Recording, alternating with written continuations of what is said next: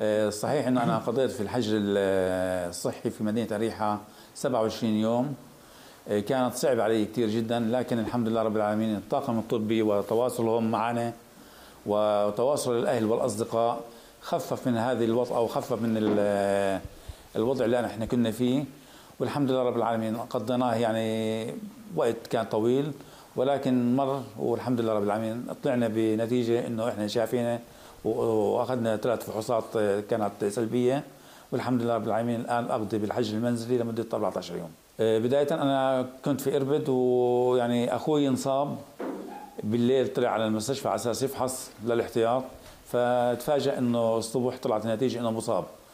آه، أنا بنفس الوقت كنت نازل على الجسر بدي أروح فعلمت وأنا بالجسر إنه أخوك مصاب في الأردن وانت لازم يعني تفحص لأنه ممكن تكون انت خالطته وقد لا تكون انت مصاب.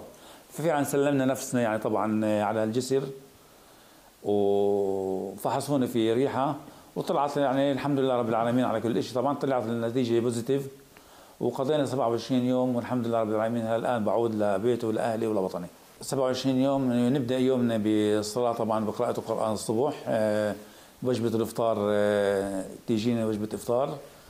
طبعا آه، مواقع التواصل الاجتماعي التلفزيون اتصالات الأهل والأصدقاء هذا كله كان يخفف علينا يعني ويقضي من أوقاتنا ونوع يعني نمشي الوقت بالموضوع هذا. وكانت يعني الأطباء اللي موجودين والكادر الطبي اللي أنا بتقدم لهم بالشكر الجزيل يعني للأطباء والممرضين والإداريين ولجان الخدمات جميعهم كان يعني هن جنود مجهولين وعبر شاشتكم أنا بتقدم لهم بالشكر الجزيل على الخدمة اللي أعطونا إياها وخدمات الطبية لأنها كانت الصحيح إنها خدمات يعني فاقت العالم بالخدمة. الأدوية اللي كانوا يعطونا إياها كانت ممتازة جدا. هناك أدوية لم تستعمل إلا من قبل السلطة قبل أي بلد ثاني. رعاية صحية طبعا يعني بدي أقول لك يعني كانت خمس نجوم إذا بديش أكثر.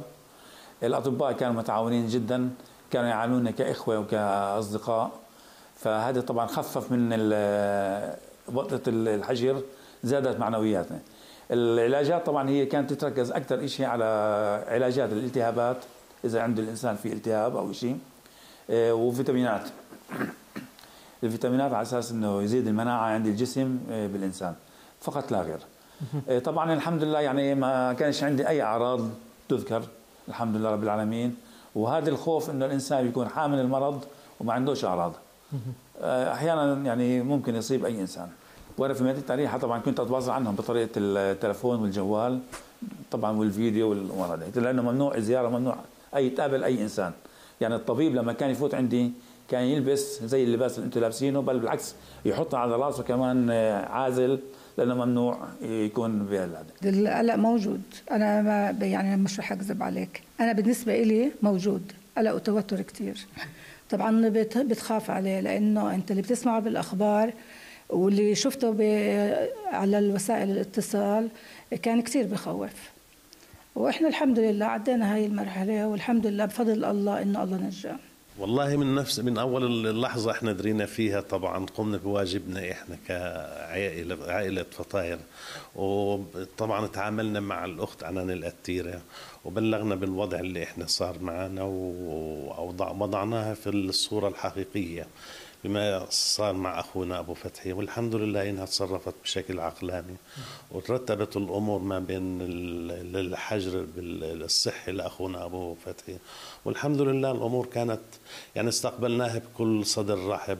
والحمد لله وبالشكر لله قاهر الفيروس أخونا أبو فتحي وكانت هذه لقائنا في ممزوج في في الفرح وفي الدمعة كمان.